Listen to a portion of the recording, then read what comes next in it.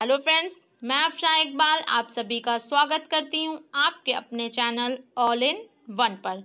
आज हम जानेंगे एजेंट को इंग्लिश में क्या कहते हैं। Meaning of agent in English agent को इंग्लिश में कहा जाता है एजेंट। एजेंट को इंग्लिश में कहते हैं एजेंट। एजेंट का स्पेलिंग होता है A G E N T agent.